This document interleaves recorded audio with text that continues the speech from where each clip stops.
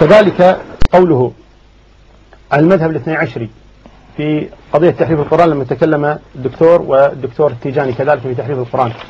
كل روايات التحريف كما قال التيجاني وغير كما قال الجزائري وغيره إنما هي عن آل البيت. مذهب آل البيت القول بالتحريف. إذا كانوا يقبلان إذا كان يقبلان مذهب أهل البيت. كل الروايات لذلك يقول الجزائري لم أجد ولا رواية واحدة عن آل البيت تقول بعدم التحريف. والدكتور إحسان إلهي ظهير تحدى الشيعة.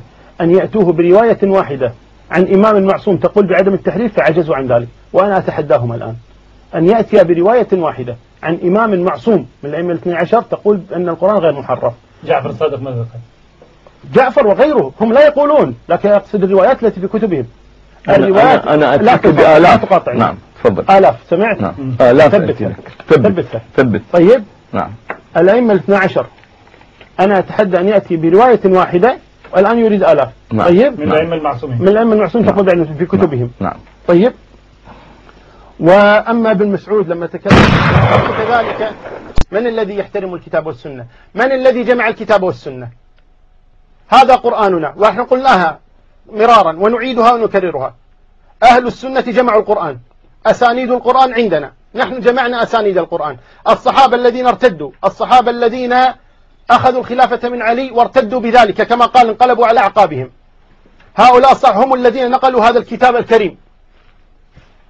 فليأتي الشيع بقرآن آخر غير هذا. نقله أئمتهم. القرآن من نقل أصحاب النبي صلى الله عليه وسلم. نحن نقلت القرآن.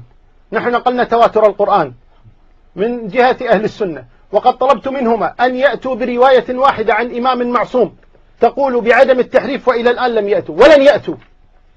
برواية واحدة تقول بعدم التحريف وذكر علماؤهم آلاف الروايات التي تقول بالتحريف كذبا وزورا على الأئمة رضي الله عنهم حتى قالوا إنها متواترة وإنها مستفيضة ولا داعي للبحث في أسانيدها.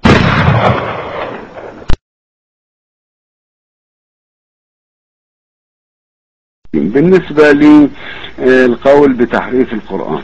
في بعض علماء الشيعة يقولون أنه حدث في القرآن تحريف يعني حذفت منه بعض الآيات ويقولون أنه في آيات وضعت في غير موضعها.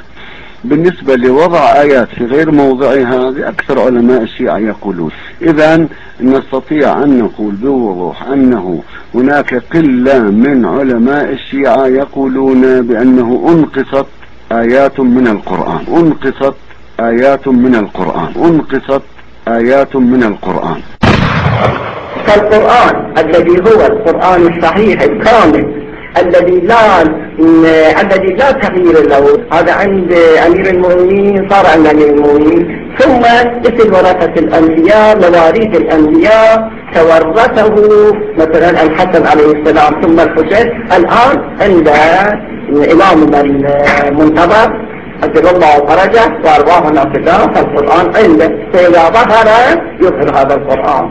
فأما هذا القرآن الذي أمام بين أيدينا هذا القرآن محترم. لكن في تغيير.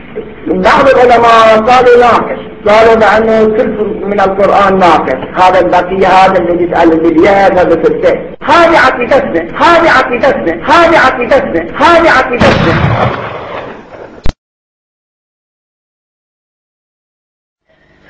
ولكن لكي نجدد العهد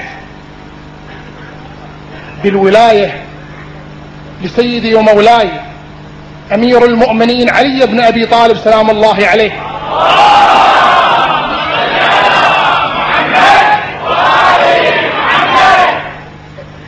فعندما نزلت الآية يا أيها الرسول بلغ ما أنزل إليك في علي وإن لم تفعل فما بلغت رسالته.